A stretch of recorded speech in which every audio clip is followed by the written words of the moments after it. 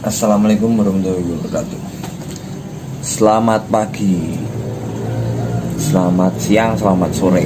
Oke Sekarang kita akan ngobrolin soal Pengaruh pakan dengan pertumbuhan koi bab satu ya. Oke langsung saja. Seperti pada makhluk hidup lainnya Ikan koi juga butuh makan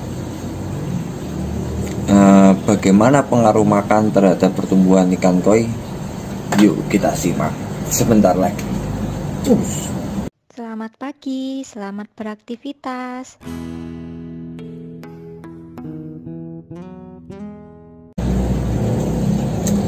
Ya, seperti kita ketahui semuanya bahwa uh, koi itu adalah golongan dari omnivora yang cenderung herbivora ya. Omnivora pemakan daging yang cenderung pemakan herbivora her her tumbuhan. Nah, kayak gitu. Jadi sumber pakannya jadinya banyak ya. Bisa uh, dari hewani ataupun dari hmm, tumbuhan nabati ya. Bisa, de, bisa dari alami. Ada yang dari yang buatan.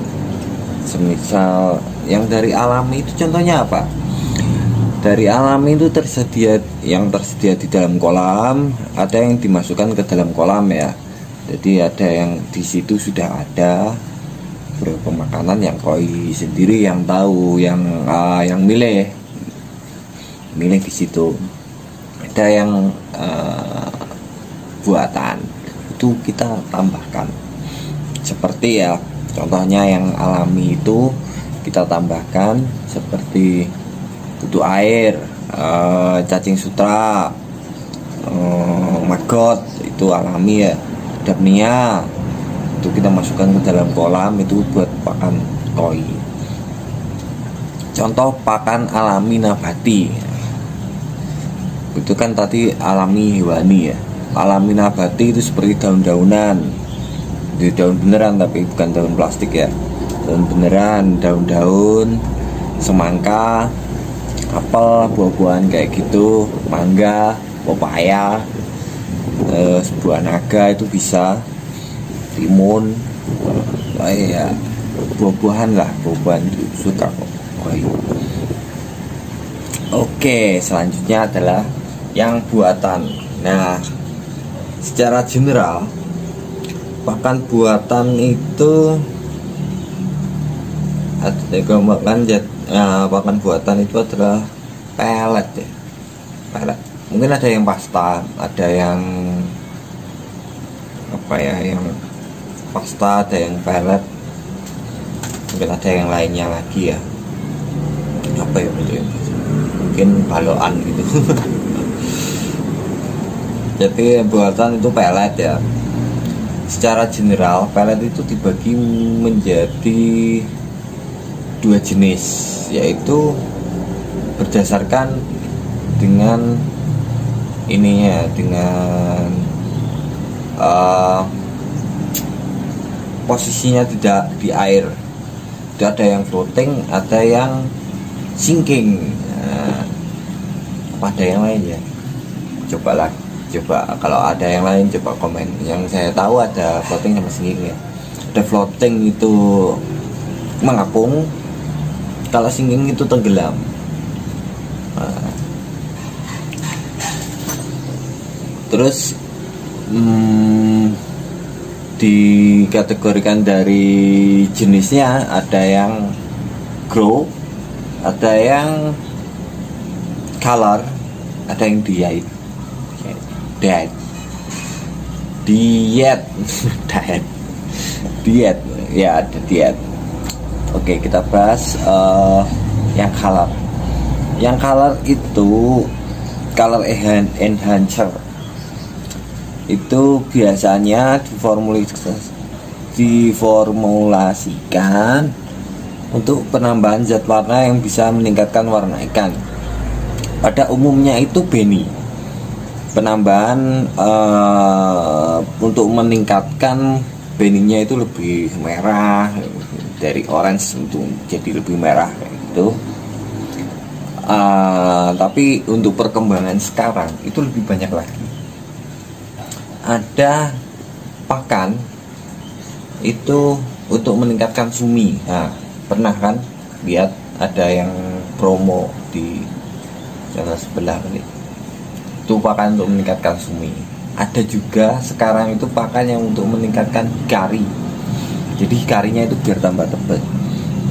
Ya uh, karena ya, memang dulu kalau dulu memang hanya kalau enhancer ya.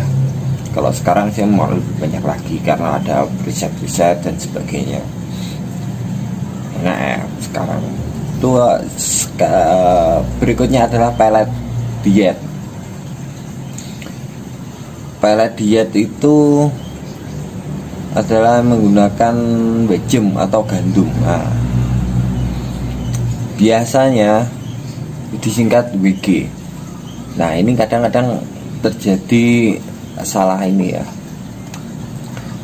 Kesalahan penafsiran bahwa jem WG itu untuk meningkatkan siroji. Sebenarnya enggak. Sebenarnya bukan begitu.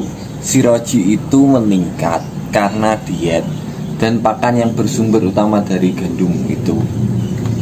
Itu itu proteinnya proteinnya rendah proteinnya protein nabati. Sehingga membuat uh, sistem pencernaan itu uh, mudah. Gimana ya? Ya nanti nanti kalau masalah protein video berikutnya aja. Karena itu lebih panjang lagi ya untuk membahas proteinnya. Ada sekarang yang pelet yang harian biasanya itu glue pelet glue itu dipakai sebagai pakan harian biasanya oleh kiper. Daily feed lah. Nah, jadi uh, kadang yang grow itu ditambah dengan color enhancer atau mungkin 21 atau 31 kayak gitu dua hari kita kasih pakan grow satu hari dikasih pakan color bisa juga ada yang mix dengan WC WG WGM jadi dia agar tidak terlalu gemuk agar uh, tidak terlalu cepat grownya uh, grow cepat itu bagus tapi juga bisa merusak ini ya color warnanya. Warna dari ikan itu kalau yang tipis kayak di video sebelumnya ya saya jelaskan antara beni yang tipis sama beni yang tebal.